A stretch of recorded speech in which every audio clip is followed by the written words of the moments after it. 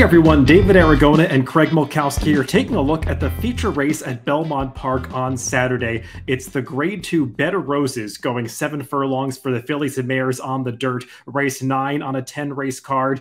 And Craig, this field has only attracted five runners, but it's one of those five horse fields that's definitely not lacking in the quality department. No, that's for sure. I mean, we have the returning Eclipse Award champion, and even though she's a heavy favorite on the morning line, I do think there's some others that people will need to consider. Yes, that uh, morning line favorite, the number one, Goodnight Olive, definitely comes in with some of the best form, but she is not facing an easy spot here as the three runners drawn towards the outside, Wicked Halo, Dr. B, and Caramel Swirl, all have credentials to win a race like this. And even the long shot in the race, Beguine, is coming off some nice speed figures. So it's a pretty competitive bed of roses for just a five horse field. Before we get to the main contenders, let's take a look at the Timeform US pace projector for this race. And Craig, I guess one of the strengths of that morning line favorite, Goodnight Olive, is that she does possess good tactical speed, and that could come in handy in a race where there's not a whole lot of front running speed signed on. I would agree with that, and particularly after a trip last time where she got stuck down inside, she draws the rail again. But I would imagine they're going to be a little bit more aggressive and, and make make sure that they don't get themselves boxed in here.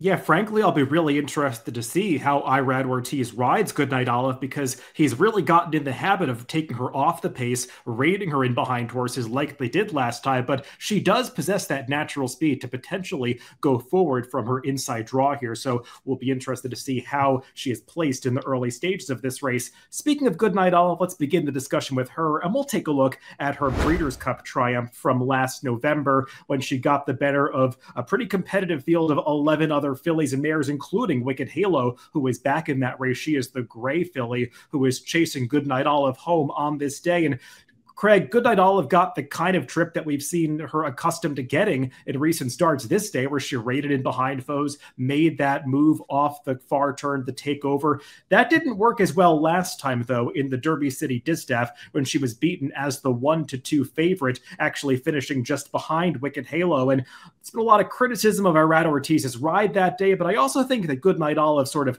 put him in that difficult position because she didn't seem the most willing to angle off the rail when he really wanted to at the the top of the stretch.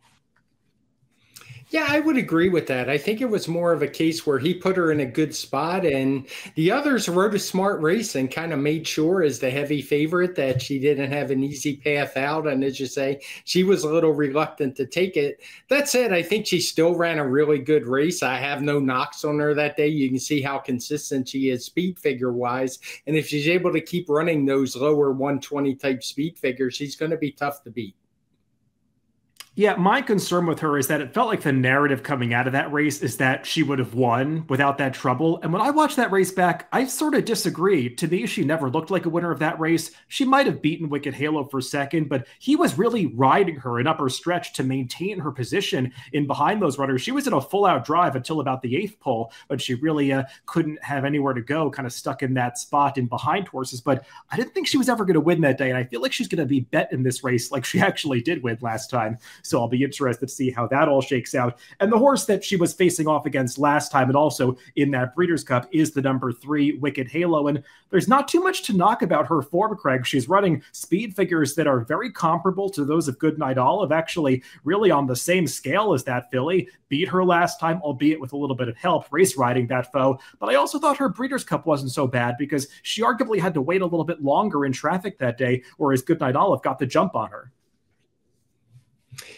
Yeah, and I think another excuse that day is that she was coming off just two weeks rest. Uh, she was rushed into the Breeders' Cup a little bit, turned back in distance a little bit off that Raven run. I think that was one of the longer seven furlong races, if memory serves. Maybe not, but she definitely had some excuses. Uh, her speed figures are competitive.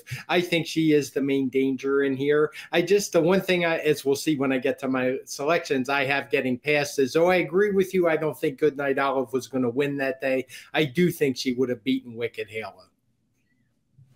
Let's move on to a couple of fillies coming out of a different prep race, and that was the Grade 3 Vagrancy at Belmont Park. We'll check out the stretch run of this race, and Caramel Swirl in the Godolphin colors is making a big move from towards the back of the pack to mow this field down. To her outside is Dr. B, who was also coming from off the pace this day. She had some significant trouble on the far turn, getting shuffled back in traffic, but that allowed Caramel Swirl to get the jump on her. But take nothing away from Caramel Swirl, Craig, because you could see she wins this race gear down at the end. Definitely was back in top form for this one, but she'll be coming back in five weeks. And she's a horse that has had much longer layoffs in between all of her prior starts, as we've seen her pretty sparingly over the past couple of seasons.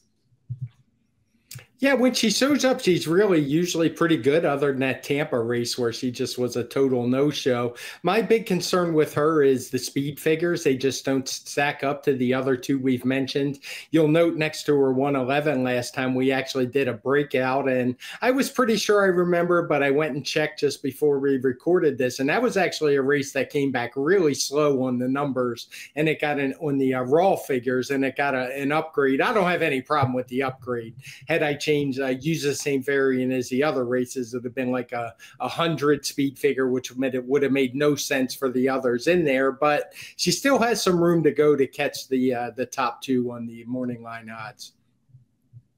Yeah, it was definitely a race where they weren't moving that quickly up front. So she did well to pass them and win so easily. But like you said, she does have to get a little faster, at least with the number four, Dr. B, who was beaten by Caramel Swirl last time. But that was her first start off a layoff. And Dr. B does have at least one lofty speed figure to get back to. That was when she won the Go for Wand at the end of last season, stretching out to a mile. And given the fact she got the mile that day, I don't mind the seven furlongs for her in this bed of roses. And one feather in her cap, Craig, is that she did handle a sloppy track very well that day, and there is some rain in the forecast for Saturday at Belmont. Yeah, I would definitely look for that if I was going to upgrade her. I'm always a little bit leery of horses with one big number when it comes over a sloppy track. But if the track turns up sloppy, I could see it. Uh, otherwise, she did have a troubled trip last time, so I think she's better than what the number would show. I think the truth is probably somewhere in between that 122 we see and the 108. Uh, but I would also upgrade her if it if it rains on Saturday.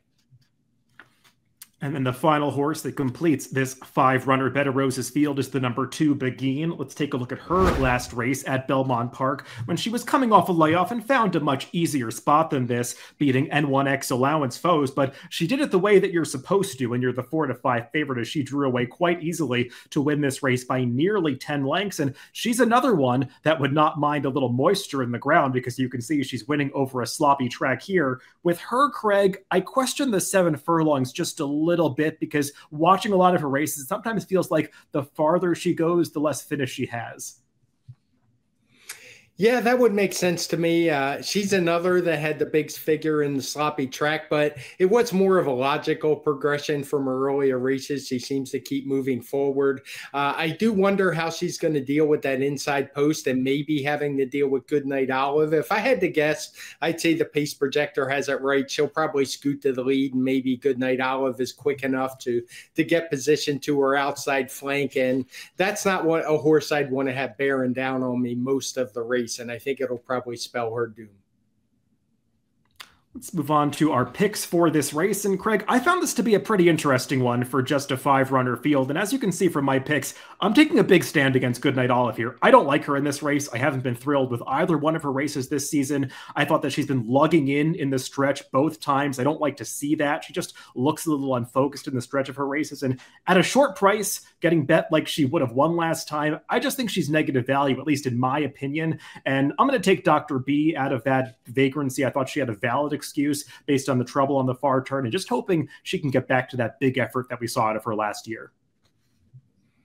Yeah, I went with Goodnight Olive. Not that I think she's value because I don't, but she's not a horse I particularly want to bet against in here. I considered Wicked Halo pretty strongly, but it's still stuck in my mind that I just thought Goodnight Olive was better last time. She keeps running those same consistent speed figures, so that's who I put on top the number one, Goodnight Olive for Craig, and the number four, Dr. B for me in the Bed of Roses on Saturday at Belmont Park. Good luck if you're playing the races this weekend.